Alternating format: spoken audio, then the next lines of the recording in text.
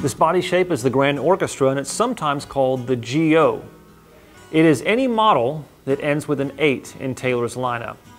Now what started as a redesign of the jumbo body shape turned into the Grand Orchestra in 2013. Now you can see that the soundboard, the front dimensions of this guitar are larger than any other body shape in Taylor's lineup, but also it's deeper at a full 5 inches than any other shape in Taylor's lineup as well. A large body like this might seem too big for smaller players or it might seem like it would outplay the player, but the contours and the dynamic range of it make it feel like a really playable large guitar. Now dynamics. What I mean by dynamics is you can look at this guitar and assume that it would have a really loud, low-end presence. It would be bassy and full sounding.